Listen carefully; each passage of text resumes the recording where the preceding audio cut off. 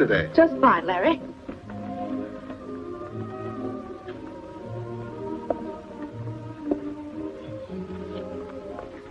Your usual lunch, Miss Prentice? Yes, the usual, Honor. Right away.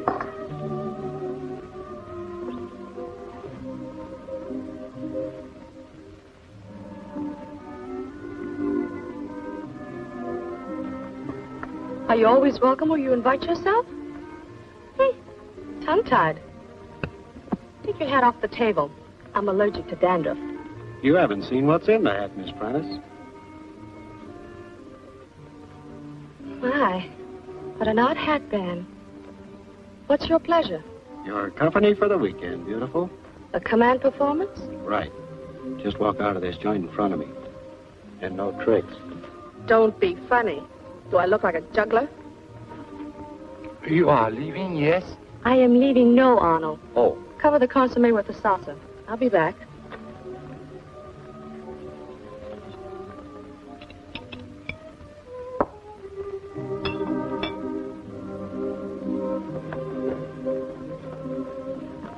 Just where are we going to spend this last weekend? You'll find out.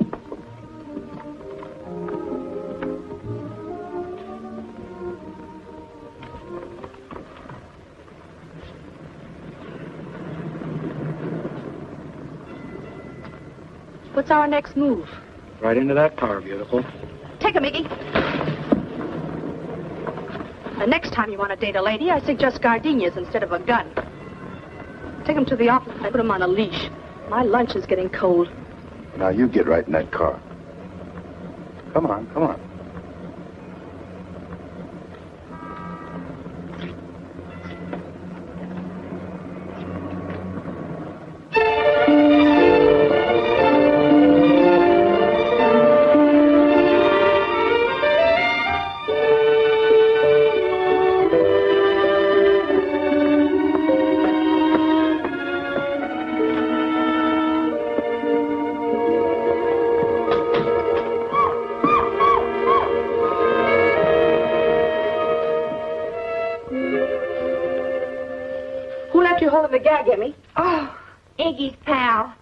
At our company and went away mad. You go on from here.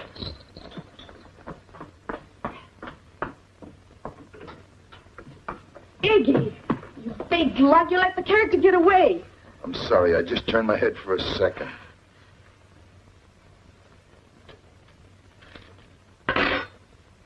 Enjoyed the visit. Be seeing you, beautiful. I'll be seeing you too, Mr. Snapbrim. Behind bars if I can arrange it. Well, what happened? Did the roof fall in? Yeah, that joker was too fast. Too fast me even turn my... Spare me the details. Go soak your head, Iggy. It'll do you good. I'm expecting a visitor. A visitor? Who? I don't know. Evidently, somebody wants us out of business for the weekend. The magician or the rabbit will soon be here. Go outside, Emmy, and leave the door partly open. Okay.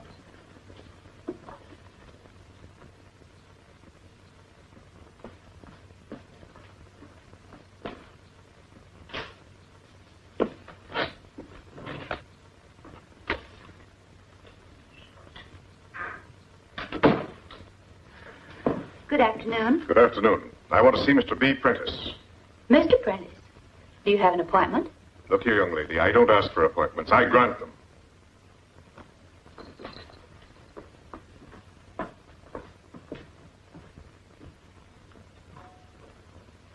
May I help you? Where's B. Prentice? You're looking at her. Indeed. A woman private investigator? You were expecting maybe Senator Claghorn? A woman, eh? That may not be bad. Not at all bad.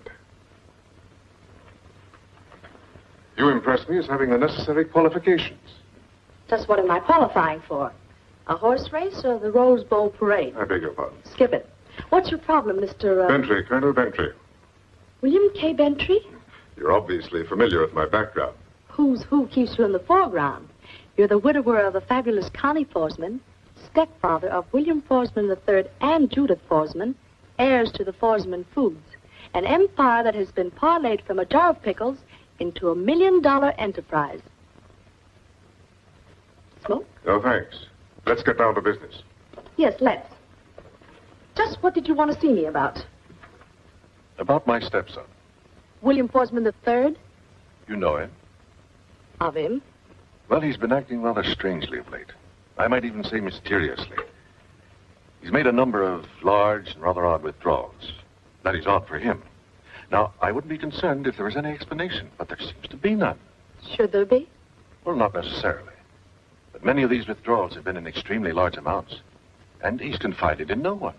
Not even in the firm's attorney, Who's he? Jonathan Lowell. Lowell and I have been running the business since Mrs. Bentry died. I've been chairman of the board, and he's general counsel. Have you tried questioning your stepson? No, no, I was afraid that he might think I was prying. He's taken an apartment in the city, Is he in the habit of moving out? occasionally. But he always lets us know where he is. This time, nothing but silence. Let me get this straight. What concerns you is that there must be some strange connection between that apartment and the large withdrawals. Is that right? Exactly. Is it possible for a lady of, uh, shall we say, agreeable disposition to have him hanging on a hook? Bill's no playboy. As a matter of fact, since the war, he's been rather scientifically inclined. He's no fool. I see. If he went in for that sort of thing, he'd have a receipt paid in full before the first round bell. Rather quaintly put, but that's about it. Exactly what do you want me to find out? I want you to find out what's going on down there. Here's the address, the number of the apartment, and the unlisted telephone number.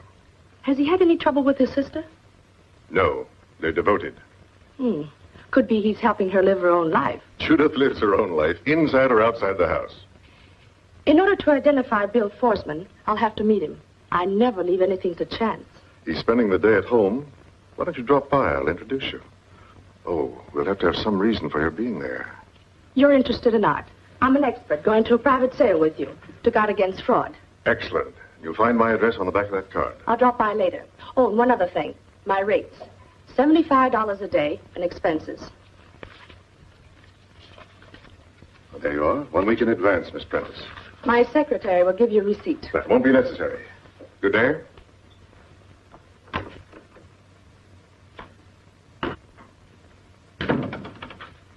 If I ever heard a phony setup, that's it. What do you care? We're paid in advance. Okay, what's the pitch?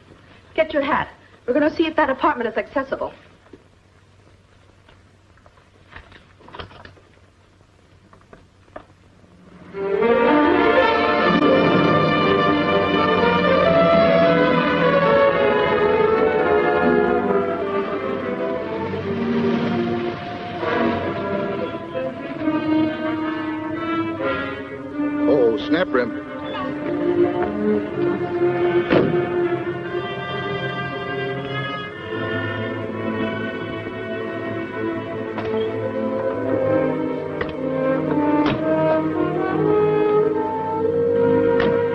Make up some more solution, Chicago. Okay, Professor. Goodbye.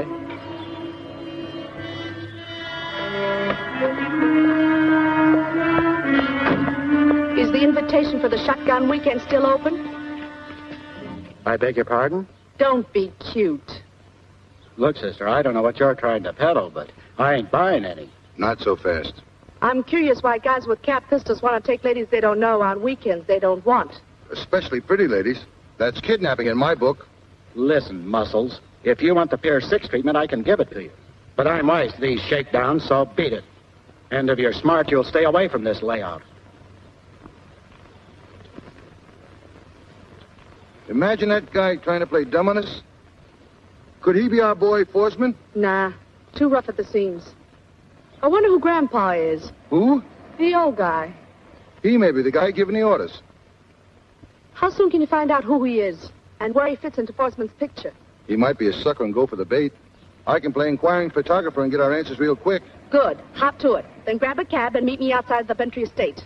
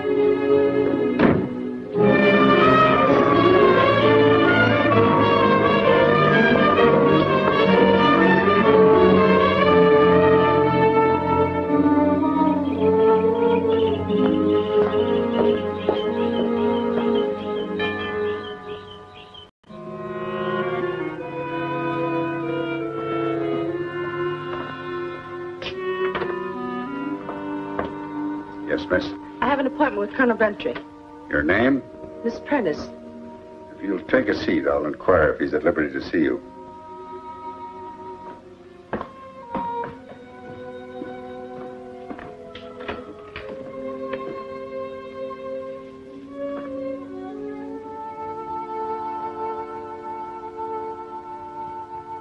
Mr. William! Mr. William! Everybody! Come quickly! Something has happened to the colonel.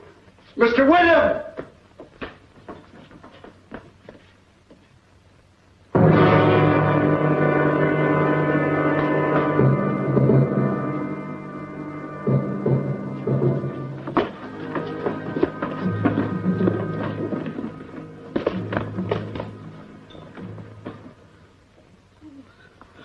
Severance, call Dr. Richards and Mr. Lowell. They're on the rear terrace. Yes, sir.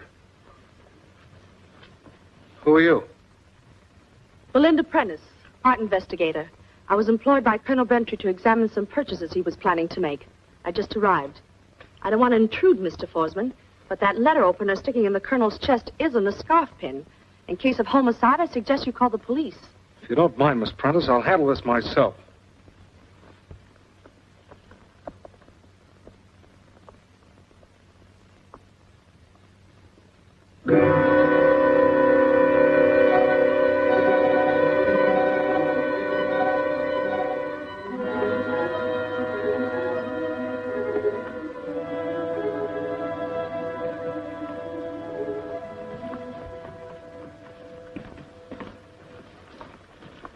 The trouble? Colonel's dead. I can't believe it.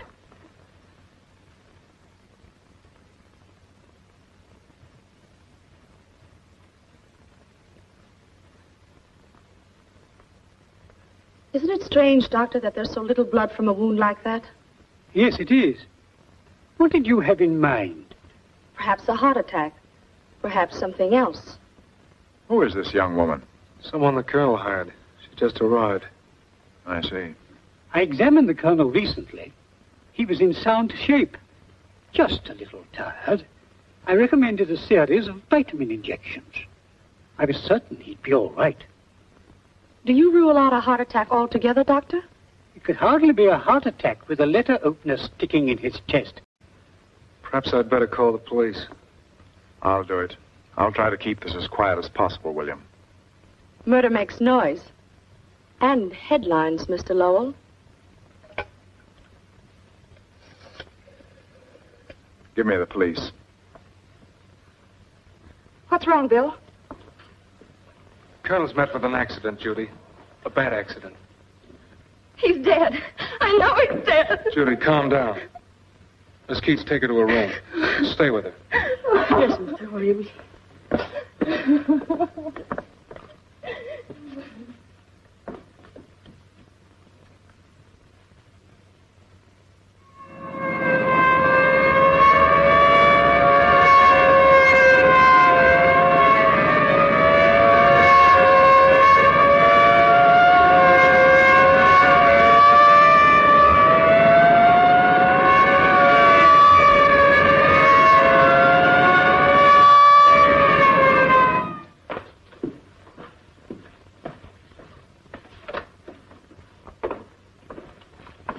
Hello, Severance.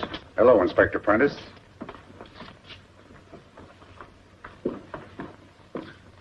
What are you doing here?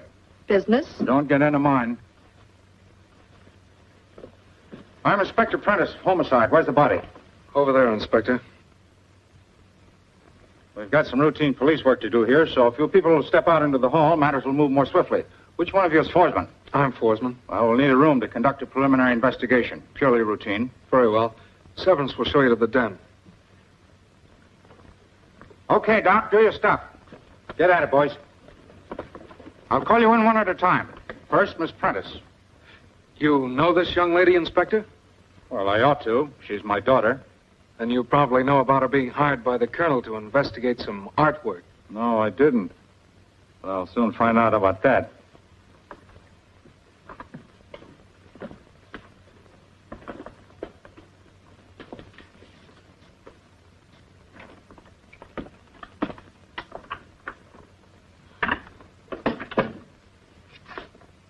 Don't look so innocent.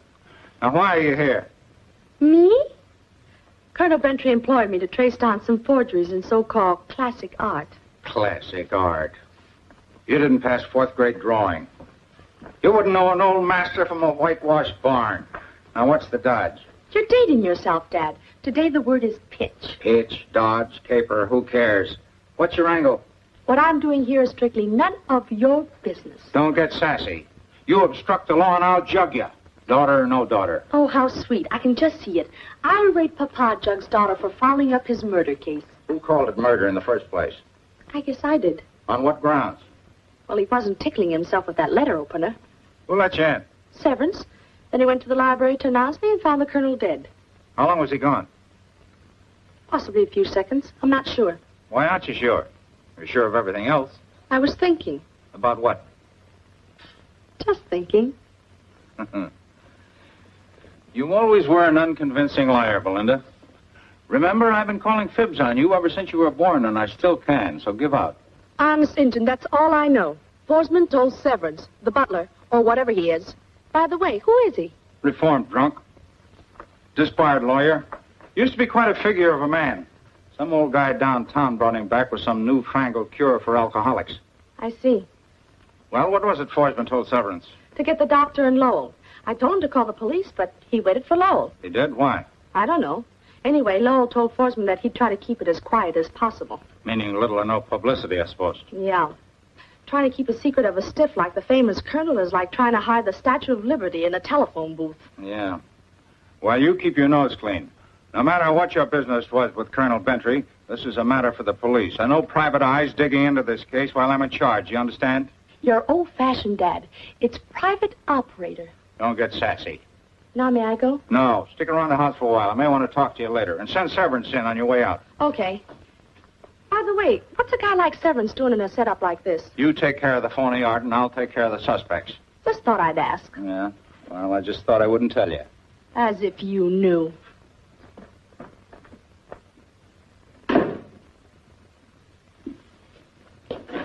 You're next. And just where do you think you're going? Inspector's permission, Eddie. Special detail. That makes a difference.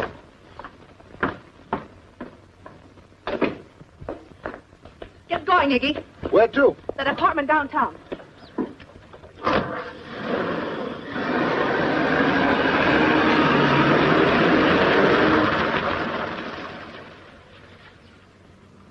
What's up? Our client was murdered. What? Who's in charge? My father. Good. That gives us an out. Now, how about us going and getting something to eat? Can't you keep your mind above your waistline? We can't give our client back his retainer, but we certainly can respect his memory by giving him his money's worth. Oh, I suppose so. Say, what's with this Foresman's apartment? Any connection? I don't know. Could be Mr. William Foresman III is the one who's trying to avoid private eye trouble. Sure a screwy setup. Say, what did you find out about the old man you followed? He's Morris Ordson, a retired professor. Some kind of a scientist. He's running a mission down in the industrial section. Reformer? Sort of. He's experimenting with a cure for alcoholism. Well, that checks. That's how Severance got into the Bentry estate. Who? A disbarred lawyer and a reformed drunk. He switched from a mouthpiece to a manservant. But I wonder why. He probably got admitted to the bar too often.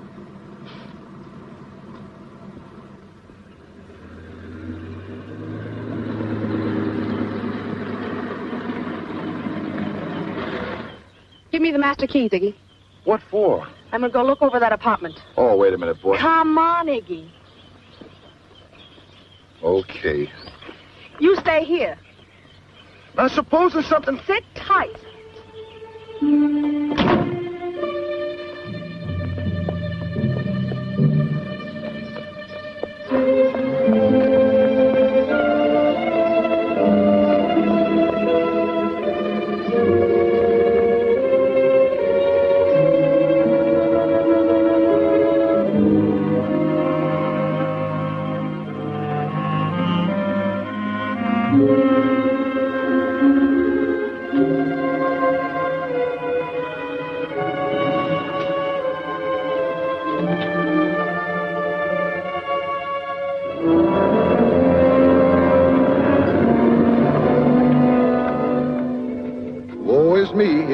Trouble.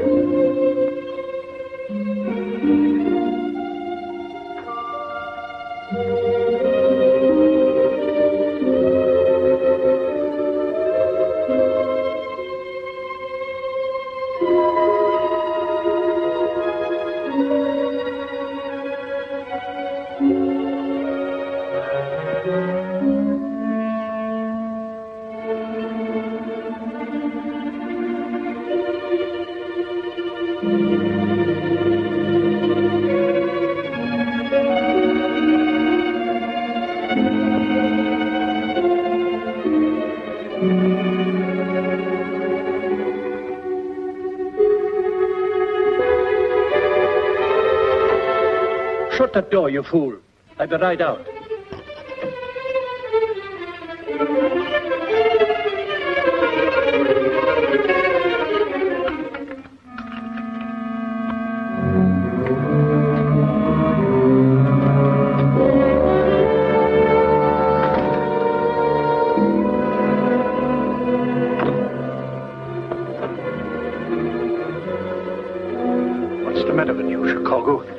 You should know better than to open that door when I'm working. What are you talking about? I just came in. Well, somebody opened that door a few minutes ago.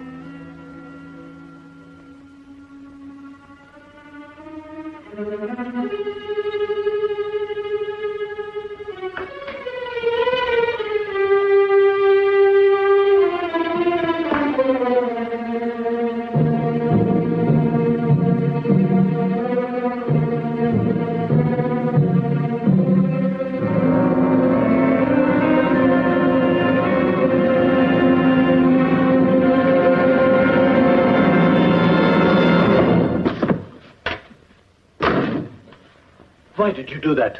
Bill doesn't want any snoopers around here. Neither would he approve of violence. Look, Professor, you do your job, and I'll take care of the wise guys. This is getting monotonous. Yeah, ain't it? How long will that knot you call a head hold out? Longer than you think, Bud. I wish your girlfriend was here. I'll bet you do. Still want to take her out for that weekend? Shut up. I demand that you stop this brutality. You don't like this show, Professor. Why don't you take a powder? I will.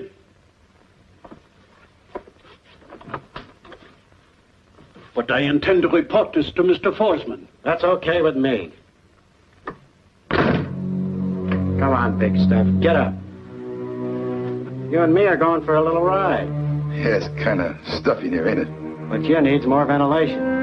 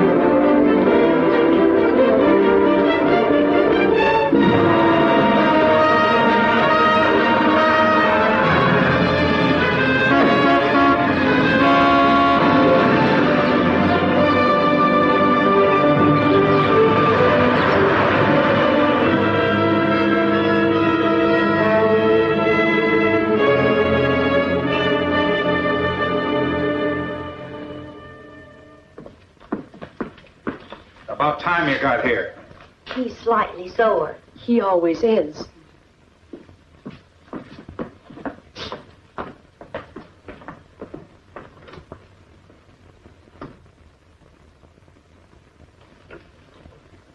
You know you can get five years for impersonating a police officer? Me? Let me see the tin you flashed to get out of that house.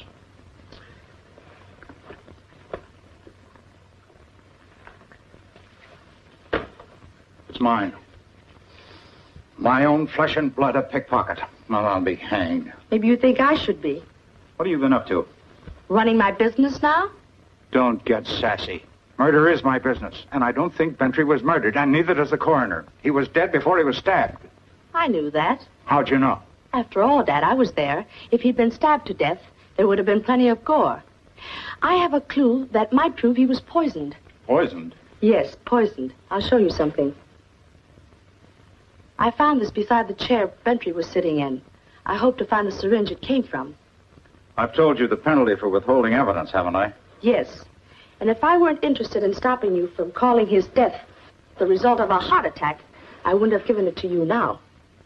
Did you know Bentry was getting vitamin shots? Yes. And if you find out who gave him the last one, you'll have your murderer. As easy as that, huh, daughter? Mm-hmm. Come on, let's get some dinner. Oh, I'm sorry. I already have another date. Look, you trying to get rid of me? No, I just have another case. What case? That's my business, not yours. Don't get sassy. If I find it has anything to do with my case, I'll make it my business. I'll get this needle analyzed. And remember what I told you about obstructing the law. I'll remember, Daddy. Uh, Uh, Is he kidding? Did the guy really die with a heart attack? yes, only not the usual sort.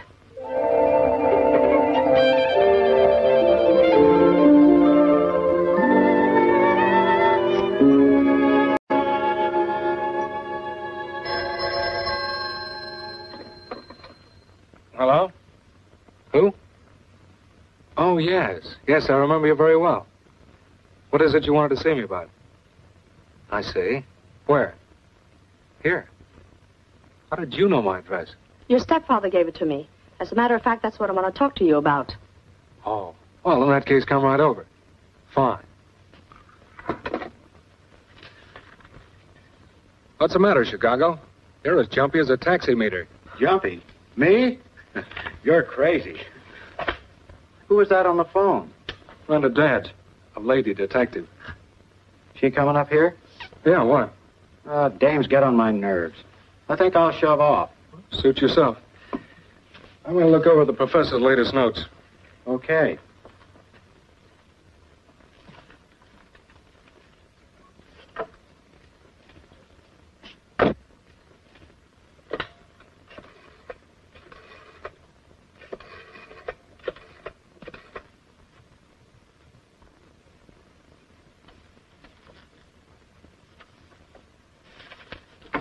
You still here? I uh, thought I'd see what's playing at the show around the corner, but the line's busy. Guess I'll drop over anyway. Before you go, will you mix some more solution? Sure.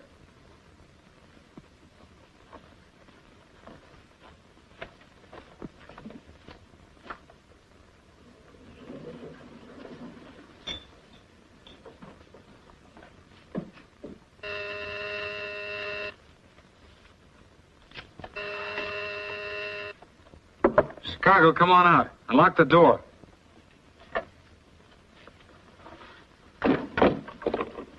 I'll wash up in the kitchen. Fine.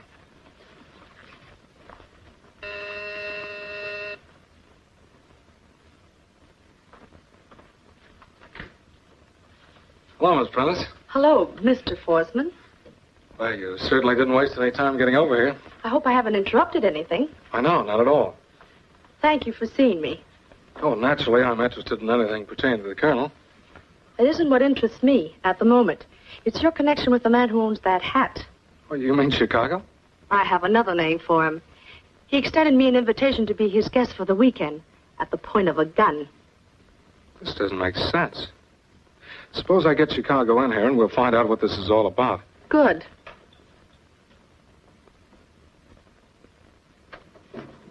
Chicago? That's funny. He isn't here. Must have slipped out the back way. Did he know I was coming here? Oh, yes. Well, that explains his sudden exit. He certainly doesn't want to run into me again. Just what is Chicago's tie-up with you? He's sort of a bodyguard. Do you need a bodyguard? Well, actually, he's more of a watchman. I'm conducting some experiments with the Professor Ordson here. Material and equipment are very rare, and we need someone to protect them. I see. But there are a couple of things I don't see. Would you mind telling me why you're here? And why my stepfather gave you this address? He hired me to check up on you. I suppose he was concerned about my withdrawals from the firm. That's only part of it. The colonel was afraid you were getting involved in something you might not get out of easily. Something you went into without consulting him or Lowell. So that's it. But I still don't get the connection between Chicago and my stepfather's death. Correction. Murder. Police haven't called it murder. Why have you? There's an answer to that, and I intend to find it. Well, you won't find it here. I'm not so sure. You don't seem particularly grieved by the colonel's death. Frankly, I didn't know him very well. My mother remarried while I was still in the service. But that doesn't explain what you're doing here. Well, her experiments are extremely urgent. Any delay might cost me those large withdrawals you're so concerned about. Oh. Mr. Foresman, there's something I'd like to do without police observation. What's that? Search your house. I believe the police have overlooked something. When would you like to do it? Right now, if possible. Okay, let's get started.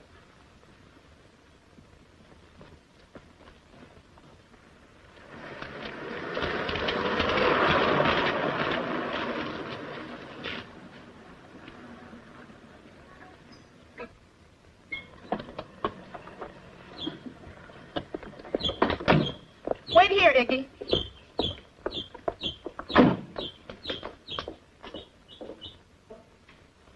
Dr. Richards, has the coroner completed his examination yet? What's the decision? Thank you, Doctor. Yes, I'll tell them. Oh, Miss Prentice, we weren't expecting you. Some other people weren't either. What's the verdict, Lowell? Heart attack. The wound was accidental. Evidently, he had been toying with the letter opener when the seizure gripped him. What are you implying, Miss Prentice? That your stepfather was dead before he hit the floor. As he pitched forward, his weight drove the letter opener into his chest. I don't care what anybody says. He was murdered. But, Judith, there's nothing to be gained by contradicting the law. Why not? Why are you so positive it's murder? It appears to be an open and shut case. As far as Mr. Lowell's concerned. Miss Prentice, when I want your opinion, I'll pay for it. Judith. I think there's something all of you should know.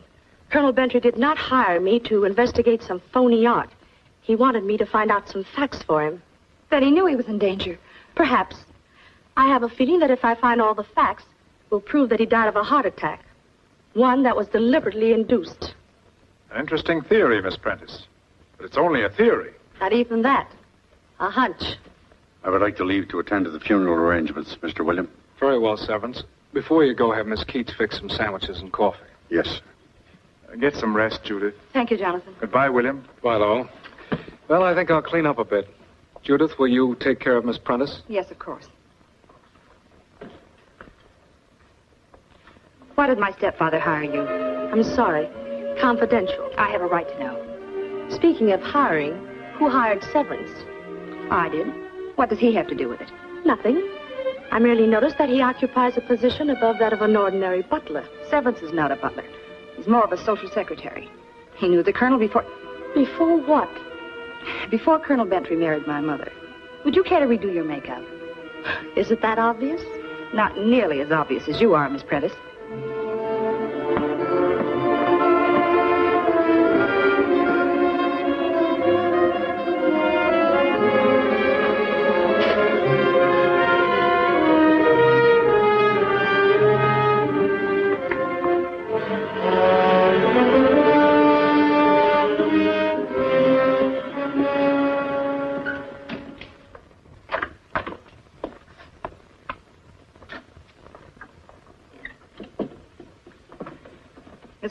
I must know more about this confidential matter. Your price may be high, but I'll pay it. I haven't anything to sell at the moment, but I'll give you a quotation when I have. My, what a lovely room. Was I the one the Colonel paid you to spy on? Why? Have you been playing games too? The Colonel rarely approved of anything I did. He simply refused to believe that anything good could come from my association with Professor Ordson. Professor Ordson? You know him? I've heard of him and his work. Was there a feud between Bentry and Ordson? Of long standing. Was it bitter? Bitter enough to kill? Ordson? Certainly not. He's as gentle as a lamb. Even lambs can become lions if the stakes are high enough. Shall we freshen up?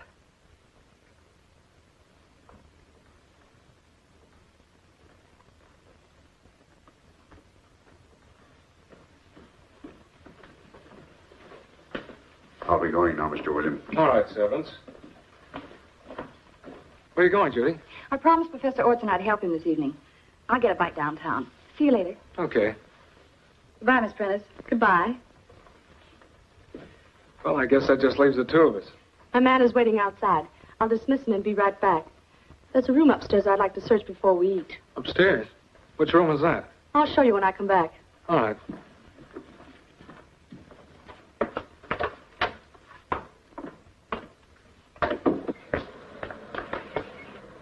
That car and call me here later.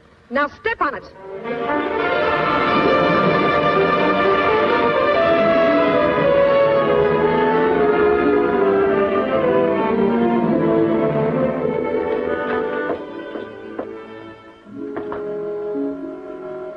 This is the room I meant. Whose is it? Severance's. Shall we have a look? Sure.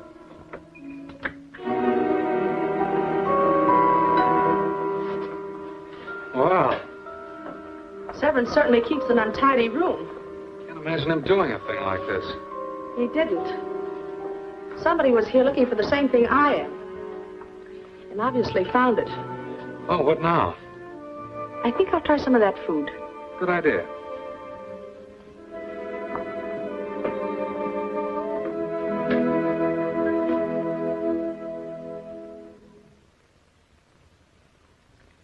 Just what kind of an experiment are you and Professor Ordson working on? It's a light ray theory for long-range night photography. Colonel Bentry might have been proud of your efforts if you had only told him. No, I'm afraid he never would have approved of Ward's. They became bitter enemies after my mother died. What started it? Well, the colonel refused to grant Ordson the funds that my father had left him for his earlier experiments. And after the quarrel, Professor Ordson retired? Yes. But he knew more about my formula than anyone else. He offered to help me, provided I didn't tell the colonel. And you agreed? Yes. Only because Ordson insisted. Neither Judith nor I approved, but he seemed to regard the colonel as the only obstacle which might defeat him. I hope you realize Ordson had a nice little motive for removing that obstacle. Your business makes you suspect everyone, doesn't it? In my business, you have to. Until you catch the man with blood in his eye. Excuse me. Hello? Yes, just a moment. Sounds like your man. Thanks. Yes? I see. Good. Sit tight, Iggy. I'll be there on a double. Must you go?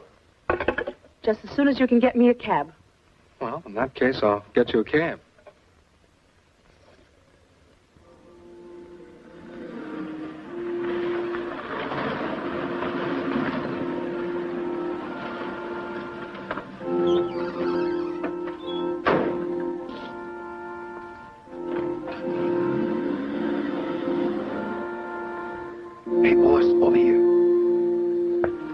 What's the lowdown, Iggy? Eh? Well, I tailed the doll down here and I saw her heading into the mission. The place was pretty crowded, so I just moseyed in after her. Then Severance shows up and starts to argue with her. I don't get the full drift of what they're arguing about, but the flunky is plenty hot. Then I heard him tell her he'd give her ten minutes to make up her mind and he'd be waiting outside for her. What then? Then she got a hold of the big moose. What big moose? Some character called Big Mac. He and Judy gal have a nice quiet discussion. I don't get any of that, but I see her slipping some dough. And then they... Look.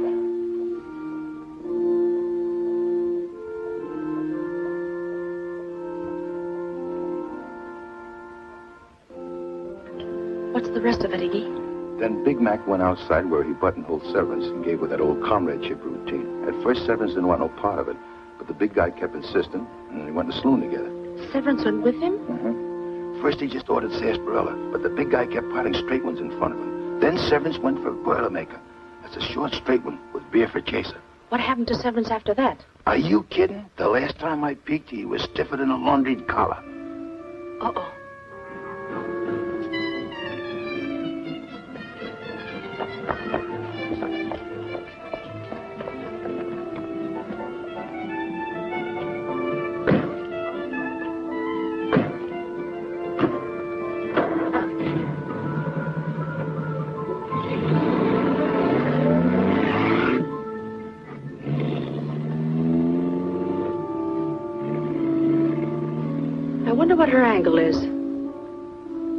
Vacuum on that gorilla.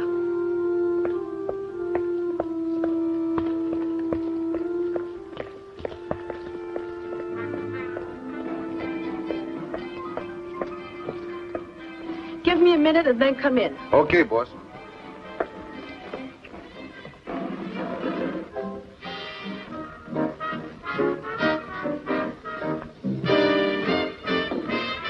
What'll it be, honey? A bottle of beer, dear.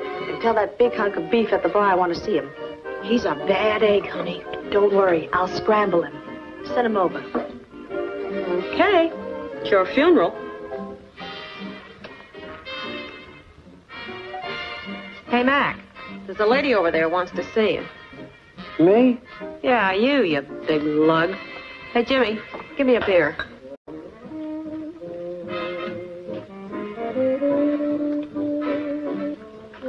See me, Toots? Hi. Sit down. Okay, sister. But I'm warning you. I'm dynamite. Be careful you don't shake yourself. You're apt to blow up.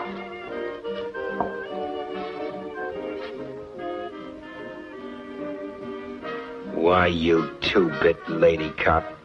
I ain't gonna sit with you. Shut up or I'll run you in. You and who else? Don't look now, big boy. But there's a man in back of you with a little convincer in his lap. If you want it that way.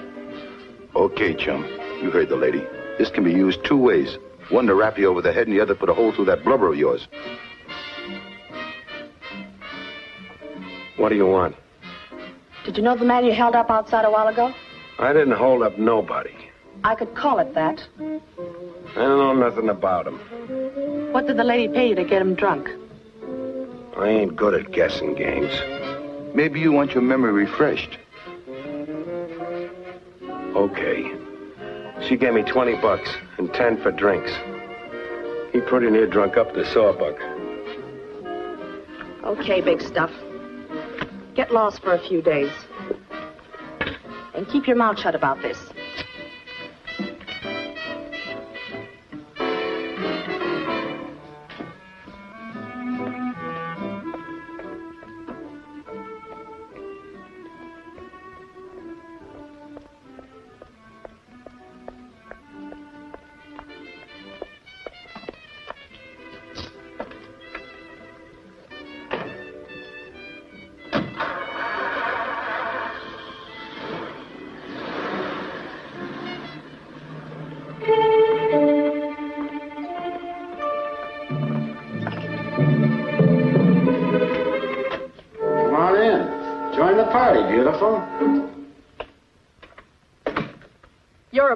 Stinker. But this time, Junior, you're treading on quicksand. Look out you don't choke. There's no danger of that. My, my. What strange birds fly in this squadron? You were expecting me? You or some other double-crosser like you. I'm not in favor of loose words or accusations, Miss Prentice. You seem to have a lot of theories. That might interfere with your plans? Something like that. I have deemed it advisable for you to leave the city for a few days. You and your man have chosen to argue the point with me. I have become impatient, Miss Prentice, and insist that you do as I say. What's the ticket if I don't? A hole in the head? Or a slight dose of poison? Don't be facetious. I'm not playing penny ante. You're holding the cards, Mr. Lowell. What are you dealing? Disappear for a week and earn a thousand dollars. Hmm. Interesting proposition. Listen, Gonzo. I understand it's customary for a gentleman to give a lady her seat. I'll give the orders here, Miss Prentice. That's what you think. You heard what the lady said. On your feet or fall flat in your face. Don't get playful. Iggy was a trigger-happy Marine. Need I say more? You're holding the high cards now, Miss Prentice. How much do I have to pay to see your hand? You can't beat a pat hand, Mr. Lowell. I suggest you throw your cards on the table and get out of here. Take your Pekingese with you and lean them against the first tree you pass. And stay out of my way, or you'll get hurt. Especially you, Mr. Lowell. Now get going, the both of you. My day's coming, fat boy. Don't you get no ideas, or I'll put this gun where you least expect it.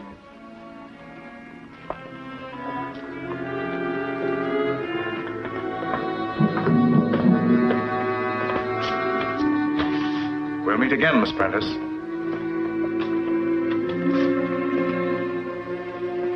Shall I tell him? No need to, Iggy. Now that I know for sure that Lowell's in on the play.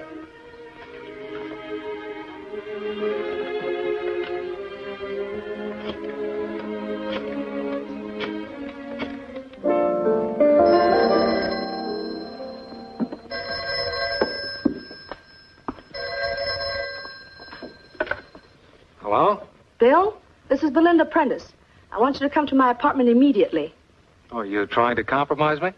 If you don't hustle, there won't be much left to compromise. Your pals are on the prowl, and I think you're number two on the stiff parade. Who are my pals? I'll tell you when I see you. You're in for a sudden case of rigor mortis, unless you move quickly. Okay. What's that address? 481 Park West Apartments. Don't worry, I'll be right over.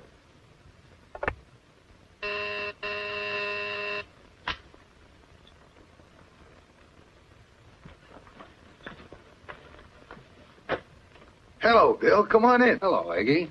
What's the matter now? Belinda will tell you. Oh. Hey, boss. Bill's here. Grab yourself a seat. Thanks. He'll be out in a minute. Hello, Bill. Hello, Belinda. What's up? I hope I haven't frightened you. Well, if you have, I'm trying my best to conceal it. Now, wait a minute. This is no joke. Lowell and that thug ugly Chicago paid me a visit, together. Oh, in Chicago. Why, they don't even know each other. No? Well, Chicago may be your watchman, but he's definitely Lowell's muscle man. What did they want? They wanted me to leave town, or else. A small fee was tossed in as a bribe. But Iggy and a 38 automatic convinced them they were wrong.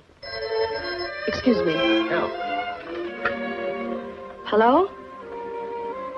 Why, yes, Dad. He was at the office with a character named Chicago. They left together. What? Well, I suggest you pick up this Chicago. You might find it at Foresman's apartment. You know where it is? Fine. Yes. Foresman's right here. Check. What was that all about? Well, you can stop worrying about Lowell. He's dead. On the front lawn of your estate. Oh. You better get out there at once. Come on, Iggy.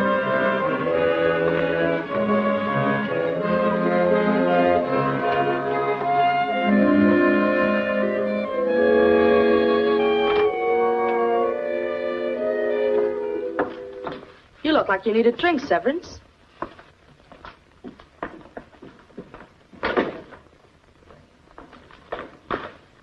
Well, daughter, looks like this case kind of got away from you. I wouldn't say that, Dad. Did any of you besides Chicago see Lowell tonight?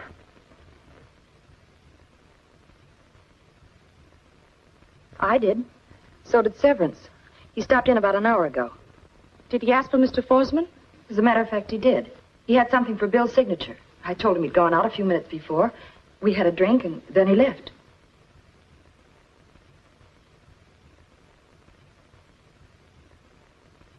You've been putting the heat on me all day. Now you're going to explain what's behind it. I don't know what you're talking about. What have you got on him, Belinda? Threat of arms and attempted kidnapping. Where did you pick him up, Dad? At the Foresman apartment, just as you said. He was there with Professor Ordson, so I brought them both along. This Chicago's been singing a strange tune. Never mind the tune. I'm interested in the lyrics. Chicago told me that Lowell was embezzling company funds without Bentry's knowledge. Then when young Foresman started to make those large withdrawals, Lowell used them to cover up his own deficit.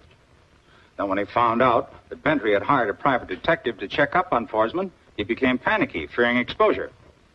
Then it was Lowell who ordered you to get rid of me. He just wanted you kept out of circulation for a while, that's all. How did you know Lowell? I knew that mouthpiece from way back. He got in touch with me and said he was in a jam, that I had to do this job for him or else. To play safe, he had me sent to you through the company's personnel department. So he was using your record to keep you on his team, huh? You guessed it, Copper. I don't think there's any need for anxiety over what happened here tonight, Belinda. The facts are obvious. Lowell knocked off Bentry, hoping to make it look like a heart attack, so he could accuse him of embezzlement if it became necessary. But something happened to his plans, and he decided to cash in his chips. As simple as that, is it, Dad? And how did you arrive at that conclusion? Through your help, Belinda, that needle you found was the one clue to prove that Bentry did not die of a heart attack. We put that needle under a microscope, and we discovered traces of a fast-acting deadly poison. When we put the poison to the test, we discovered that it absolutely disappears when introduced into the bloodstream. Lowell must have substituted the poison for the vitamins. That's all I needed to know. Now I'll fill in the missing pieces to this puzzle. Mr. Foresman, I know that you, Lowell, Dr. Richards, Miss Judith, and Severance were in the house when the colonel got that injection. Are you inferring that one of us gave the colonel the injection that was fatal to him? Exactly. Any one of you had just as much chance as Lowell. Couldn't Bentry have given himself the shot? I think not, Dad. When he called at my office, he picked up the letter opener and started toying with it. It was a habit, you know, just like some people doodle. And that's probably what he was doing when he got the hypo. Could be, because he certainly was dead before he was stabbed. Doctor, isn't it unusual to prescribe vitamin shots for a man in sound condition? Not at all. He'd been taking them on and off for the past three months. Did you personally administer all the injections? That wasn't necessary. Colonel Bentry sometimes administered them himself. Professor, you give shots at your mission as part of your alcoholic cure, do you not? Yes, but the colonel and I were not on speaking terms. He never would have allowed me to administer to him. Miss Judith and Severance have often helped you with your work. Have they ever given any injections? Miss Judith has.